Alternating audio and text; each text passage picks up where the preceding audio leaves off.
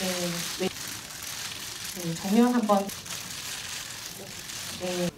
제가 액션을 이번엔 하지 않았기 때문에 몸이 고되거나 그런 건 없었고요. 오히려 저는 더 행복하고 즐겁게 촬영했던 것 같고 고생스러웠던 것보다 어, 제가 영화에서 방, 방구를 이제 끼는데 그 부분을 이제 어떻게 표현을 할까 가지고 저한테 고민이었던 것 같아요. 그래서 어, 근데 제가 현장에서 연기한 것보다 영화로 된 거 보니까 더 뭔가 이렇게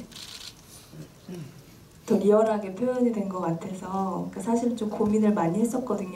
어떻게 표현을 할까 근데 감독님이 편집을 잘 해주신 것 같고 저는 마네킹으로 연기하는 씬이 있었는데 그 부분 촬영할 때도 굉장히 재밌었던 것 같아요. 그래서 어, 그동안 좀 무거웠던 역할들을 하다 보니까 좀 가볍게 이렇게 어, 감독님이 이제 어떤 어, 코믹의 어떤 타이밍이라던가 그동안 해, 보지 못했던 어떤 그런 코믹한 장면을 연출할 때 저는 되게 신났었어요. 네.